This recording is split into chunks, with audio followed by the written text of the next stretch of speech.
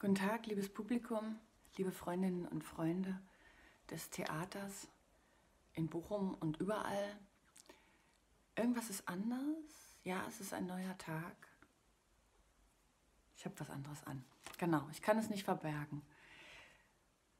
Ich lese heute, mein Name ist Sandra Müller, ich lese heute für Sie den zweiten Teil von Lucrez über die Natur der Dinge, nicht das ganze Werk. Äh, das er 55 vor Christus geschrieben hat. Gestern haben wir darüber gesprochen, dass nichts aus nichts wird und heute sprechen wir darüber, dass nichts zu nichts wird. Lucrez. Nichts wird zu nichts. Mutter Natur zerstreut alles in die Urelemente und nichts wird in das Nichts vernichtet. Denn Wäre irgendein Wesen in allen Teilen zerstörbar, wird es den Augen entschwinden im Nu, sobald es der Tod trifft. Denn dann braucht es ja keiner Gewalt, die Teile desselben auseinanderzuscheiden und ihre Verbände zu lösen. Doch nun ist ja ein jedes aus ewigem Samen entsprossen. Darum scheint die Natur die Vernichtung keines der Wesen zuzulassen, solange nicht von außen zerstörend die Kraft wirkt oder ins Leere sich schleichend von innen die Bindungen lockert. Weiter.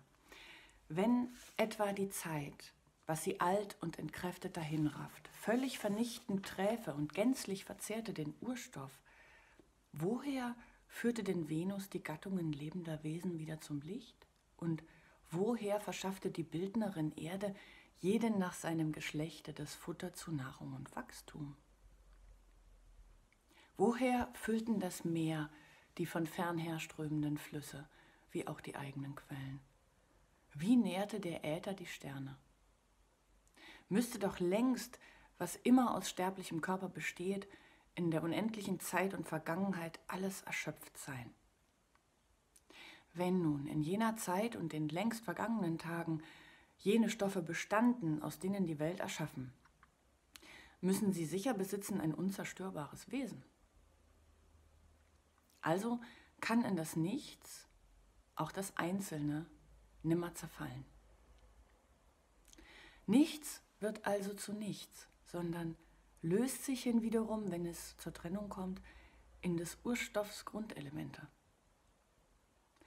Die Regenergüsse verschwinden zwar, wenn sie der Vater Äther zum Mutterschoße der Erde befruchtend hinabschickt, aber emporsteigt schimmernd die Frucht und das Laub an den Bäumen grünt und sie wachsen empor, bald senkt sich der Ast vor den Früchten.